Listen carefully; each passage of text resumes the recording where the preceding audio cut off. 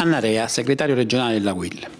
Qual è il suo pensiero rispetto all'abolizione delle province e soprattutto le preoccupazioni che i dipendenti di queste amministrazioni vivono ormai da due anni? Io credo che noi dobbiamo andare a un riordino del sistema istituzionale nel nostro Paese. Bisogna rimettere la regione nell'alveo giusto perché non è più un ente di programmazione, è diventato un ente di gestione. Non è che dobbiamo fare altre sovrapposizioni. Allora molte delle, anche delle missioni della provincia, per quanto le province hanno dei compiti su alcune questioni anche importanti, mm, penso eh, agli aspetti viari, alla scolastica piuttosto che alla sicurezza, insomma ci sono degli elementi importanti ma molti sono di sovrapposizione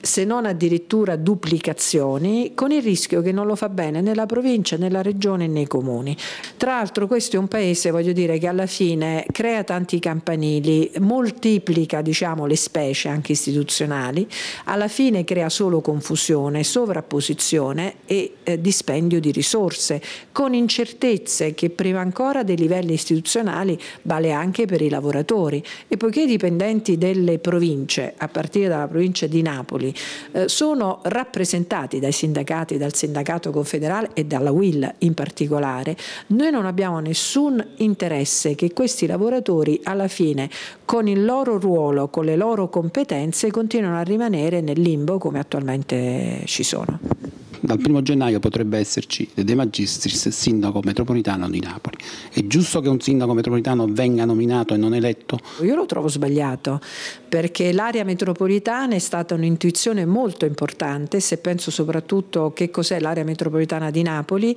eh, è talmente vasta, ha, ha talmente diciamo, elementi di contiguità ma anche di diversità che va appunto dalla, dalla, dalla, dalla zona flegrea alla provincia di Caserta, toccando riguardando eh, parte di Salerno, insomma voglio dire è una situazione talmente vasta che meriterebbe. Innanzitutto prima ancora chi deve essere il sindaco, il nome, il coordinatore, io non vedo ancora qual è la strategia dell'area metropolitana dal punto di vista organizzativo, dal punto di vista dei servizi, perché le cose basilari, voglio dire, no? per quanto riguarda le funzioni in primis sono quella dei rifiuti, sono quelli dei trasporti, voglio dire, e della sicurezza. Se già prendiamo solo questi tre elementi ci rendiamo conto che non c'è una politica sui trasporti per quanto riguarda la sola città di Napoli, immaginiamo rispetto all'area metropolitana, che cos'è la politica sui rifiuti? E qui voglio dire non vogliamo piangere,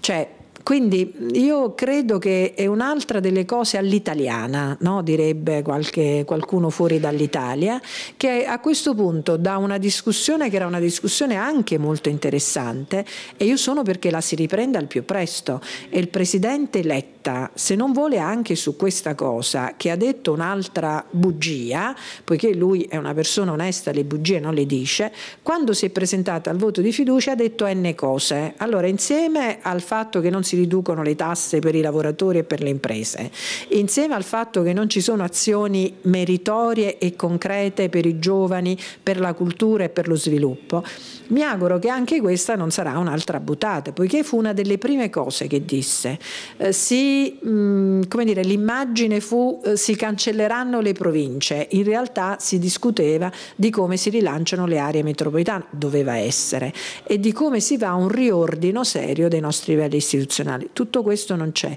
ma noi ne abbiamo assolutamente bisogno. Allora ha fatto una discussione seria e responsabile. Il sindacato in rappresentanza delle migliaia di lavoratori dipendenti, ma soprattutto per, e parlo della WIL che è il sindacato dei cittadini, nell'interesse dei cittadini che vivono in una situazione di inciviltà, perché in questa provincia non ci sono i trasporti non si sa se esci la mattina, e questo vale per gli studenti, per i lavoratori, ovviamente non di chi ha la macchina e l'autista, sono pochi, no? ma un lavoratore non sa a che ora si stanno organizzando tra di loro per prendere la macchina, quindi con un aggravio di costi, in una fase in cui si riducono i salari oltre che c'è la perdita del posto di lavoro, perché non sai la circonvesuviana da Pomigliano piuttosto che da Poggiomarin se parte, ma soprattutto quanto puoi ritornare. I giovani studenti non possono andare a scuola perché non ci sono. Allora siamo a livelli di inciviltà. Io sono stata al Cairo qualche giorno fa, qualche settimana fa, insomma voglio dire funziona molto meglio di Napoli e della provincia di Napoli e con questo direbbe no, ho detto tutto. Allora facciamo una discussione seria e infatti l'invito che va ai politici, non solo ai rappresentanti istituzionali, anche ai rappresentanti dei partiti, ai deputati, se ci siete battete un colpo, facciamo una discussione seria perché stiamo parlando dei nostri figli, stiamo parlando di noi stessi.